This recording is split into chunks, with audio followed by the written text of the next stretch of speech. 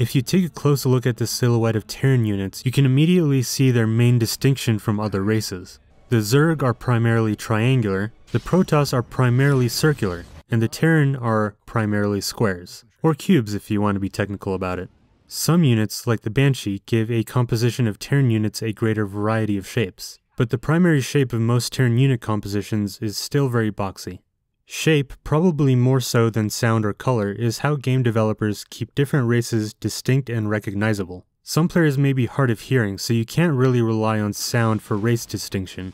A good portion of players will have some kind of color blindness. Therefore, the shape of a silhouette will be the most effective way to differentiate races. We can look at just the Terran race alone and still see that shape plays a large role in both aesthetic and gameplay. Varied shapes keep any visual composition interesting.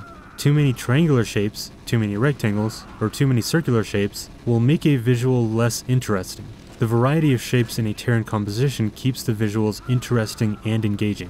Distinct silhouettes also allow players to easily understand the unit composition of a group of units with just a quick glance, and this visual distinction allows players to interpret more information faster.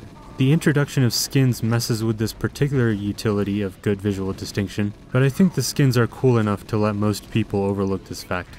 Squares are often used in art to convey neutral but strong characters, which is consistent with the Terran storyline. They aren't necessarily good, and they aren't entirely bad. Raynor's raiders seem like the good guys, but they've done some questionable things. And while the Dominion is considered bad, they've also done some good things. Humans probably have the most adaptable sense of morality in StarCraft, and it's appropriately reflected in their art. Squares are also used to convey a sense of masculinity, which is a running theme with the Terran race. Raynor, Tychus, Mengsk, and most other Terran male characters speak with a generally masculine voice. They have square, masculine builds, and have traits generally associated with masculine characters. Even the women among Terran characters have traits that are more generally considered masculine although their art tends to be more circular and feminine, a trait that circular art is often used to portray.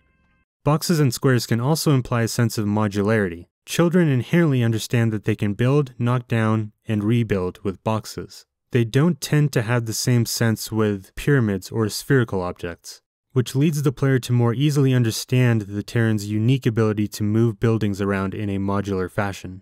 But even though squares are usually used to portray a more natural stance, StarCraft uses this neutrality pretty well. Let's take Han Solo as an example. Han Solo is an example of a well-made neutral character. His morality goes both ways, but he's still an active character who makes his own decisions. The Dragonborn from Skyrim is an example of a terrible neutral character. As the Dragonborn, you usually don't make any active decisions or take any active role in the storyline. You make some decisions about which factions to join, but then you just do as you're told for the entirety of any given storyline. And even when you do make a decision, you're only picking out of the options offered to you. You can pick the Imperials or you can pick the Stormcloaks, but you can never tell both factions to suck an egg while you go off and start your own faction. At no point does the Dragonborn ever take charge. But coming back to StarCraft, StarCraft has neutral characters and storylines correctly. Raynor takes charge and makes his own decisions, despite the questionable morality of those decisions. Mengsk also acts in his own self-interest, but at least he acts out of his own free will.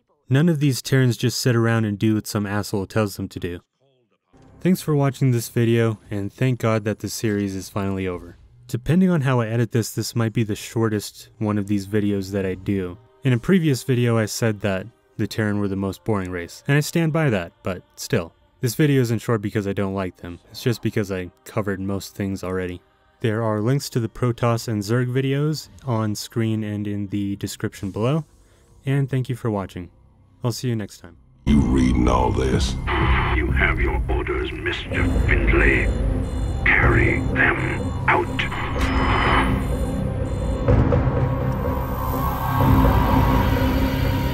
Tychus, what have you done? I made a deal with the devil, Jimmy.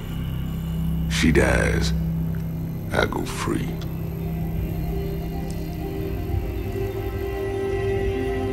We all got our choices to make.